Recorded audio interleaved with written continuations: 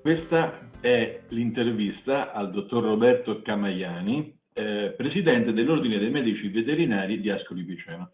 A lui chiediamo uh, una riflessione sulla, uh, sull'importanza della, dell'aggiornamento. Sono convintissimo che eh, le, le, nostre professioni sanitarie, oserei dire, eh, se non sono corroborate da un robusto e costante e continuo aggiornamento, penso che posso fare poca strada. Quindi sono mh, convintissimo di doverlo fare, farlo applicare e c'è poco da convincere eh, i pochi scettici che lo fanno soltanto per mancanza di tempo, ma è un nascondersi dietro un dito. Benissimo, benissimo. E, e cosa ne pensa della valorizzazione delle esperienze individuali degli operatori sanitari e dei medici veterinari in particolare? Beh, le esperienze individuali sono eh, anche queste fondamentali, nel senso che eh, ognuno di noi si trova nella vita, nel corso della sua professione, di fronte a qualche evento eh, straordinario, oserei dire, e forse sono quelle le cose che mh, vanno più frequentemente sui mh, canali di informazione, perché diciamo le cose ordinarie sono già ben descritte nella letteratura, nei nostri libri di testo, nelle nostre lezioni, mentre invece le cose straordinarie che possono avere magari un eh, diciamo, un andamento eh, diverso dal solito, proprio per tipologia, per reazioni specifiche, mi vengono in mente malattie, ma casi particolari. E queste penso che hanno veramente necessità di essere eh, portate alla conoscenza di tutti in maniera eh, però scientifica, precisa, puntuale e corretta. Benissimo. Eh, dottor Camagliani, non trova che sarebbe utile eh, riuscire a condividere eh, le esperienze professionali dei suoi colleghi eh, come casi di studio che abbiano un valore proprio formativo? Io penso che sia proprio veramente utile e necessario, eh, perché l'esperienza del singolo possa essere utile delle esperienze dei tanti. E, mh, credo che ecco, tutte le, le, conoscenze che ognuno di noi ha acquisito nel corso degli anni, nel corso degli studi, eh, se non si mh, concretizzano poi in fatti specifici e eh, quindi condivisi da tutti, penso che sono destinati a rimanere o su un, piccolo eh, manualetto oppure ecco, nella coscienza o nella memoria di qualcuno di noi e basta. Allora, guardi, dottore, noi veniamo dall'esperienza delle biblioteche scientifiche, quindi una domanda che è eh, significativa, che sarebbe importante e che sarebbe anche importante che a livello politico venisse un po' presa in considerazione, è che eh, non, lei non crede, da, dalla sua esperienza eh, di presidente di un ordine eh, dei medici veterinari, ma non crede che sarebbe utile proprio cercare di semplificare le modalità di accesso letteratura, alla letteratura scientifica che è prodotta soprattutto dalle strutture eh, proprio di, di, ricerca, dagli istituti di ricerca e eh, didattica dello Stato. Non crede che sarebbe bene fare qualsiasi cosa, sforzo per aprire questa, questa letteratura il più possibile? Sono convintissimo e sposo pienamente questa, questa teoria, ma non è una teoria, questo è un dato di fatto, cioè eh, una, una, una, un, diciamo un, un, contesto scientifico, un'università, un istituto geografico, un istituto di ricerca, che non riesce a ehm, esteriorizzare in maniera eh, specifica, puntuale e soprattutto in, in maniera divulgativa, in maniera eh,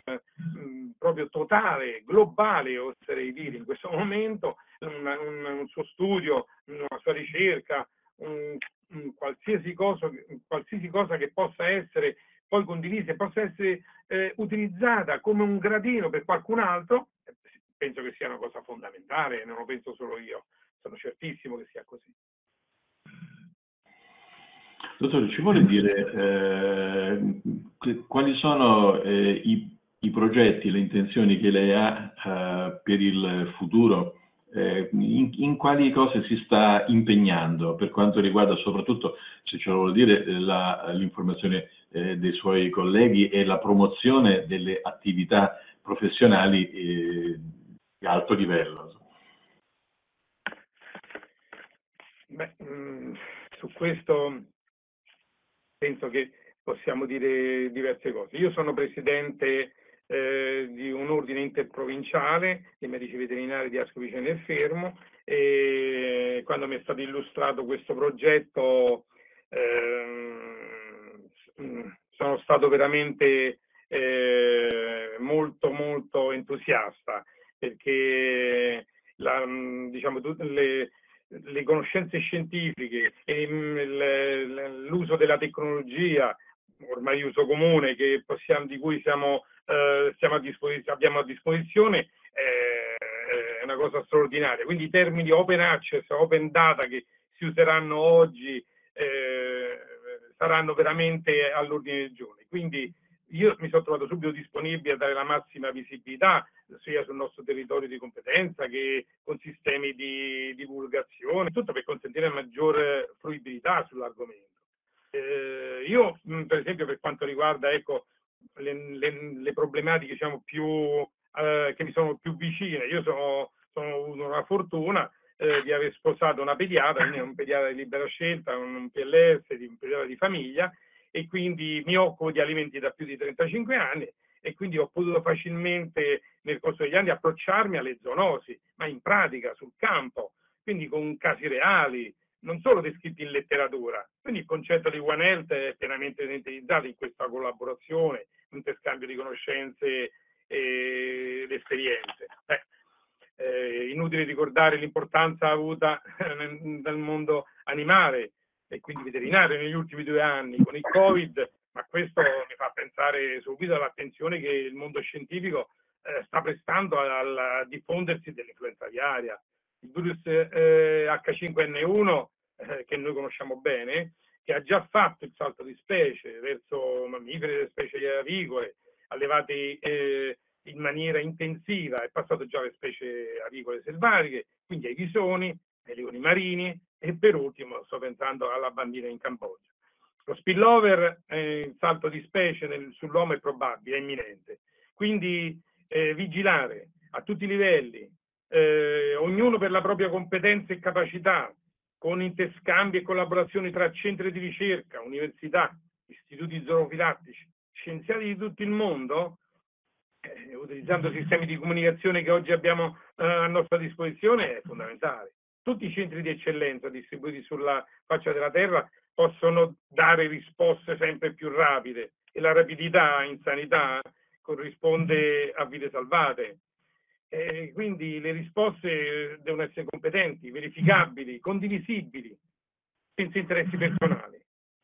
ma tutto per una salute globale, direi.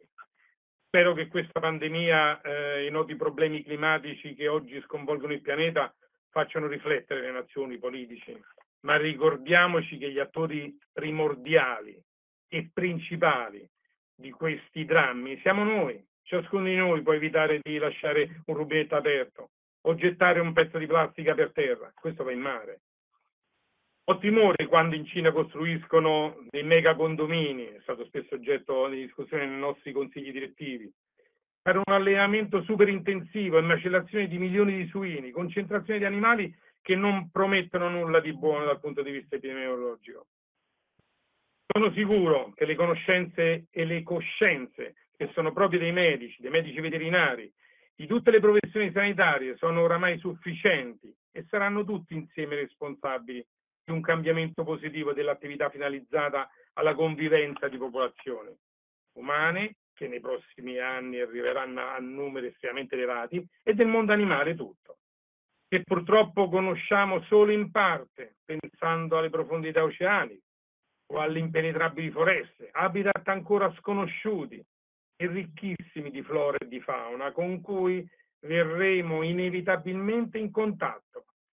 in maniera non sempre prudente, come ci ha già insegnato qualche esperienza, e rispettosa con tutti i pericoli che questo potrà comportare. Concludendo, secondo me, I sistemi elettronici di cui disponiamo oggi permettono alla comunità scientifica e medica in particolare di interagire e trovare soluzioni e risposte alle tante domande, con liberi accessi alla letteratura scientifica alla, e alla casistica dei più svariati argomenti, quello che si diceva prima, messa a disposizione di biblioteche, società scientifiche e singoli ricercatori, in un'ottica di sviluppo professionale continuo, che è proprio quello che si prefigge questo progetto. Io vi lascio un caro saluto e un buonissimo buon lavoro a tutti. Salutiamo il dottor Roberto Camagliani e lo ringraziamo per questa bella intervista che ha toccato diversi aspetti veramente molto molto significativi, quello della One Health, eh, la, il riferimento alle condizioni di sistema e al, al, progetto di sviluppo professionale continuo sono sicuramente molto molto significativi. Grazie dottor Camagliani. Complimenti a voi e ringrazio voi.